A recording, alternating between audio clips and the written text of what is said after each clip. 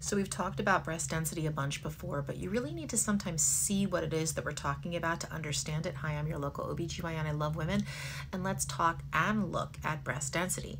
So breast density comes in four categories, A, B, C, and D. A and B are minimal to very mild amounts of density, and C and D are more and significant breast density.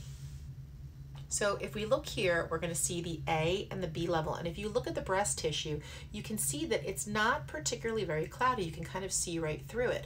And what's interesting is the little star that they're putting here is supposed to represent what cancer could look like if you were looking at the imaging. So you can see in A density, where it's easy to see through, you can see this star very easily. And then you go on to the B density, where it becomes still able to be seen, but there's a little bit more sort of traffic in that area area with density and things that are confusing the picture a little bit.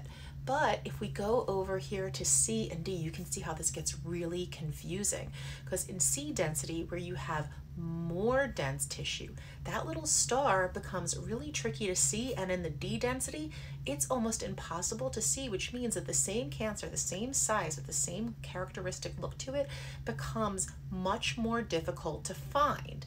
So what does this mean for you? It means that you should be talking with your provider to see if they can order and get through insurance the idea of you getting a breast ultrasound where we have the ability to see those abnormalities more easily if the breasts are dense. You still need the mammogram, you just need the additional ultrasound support to see through that tissue.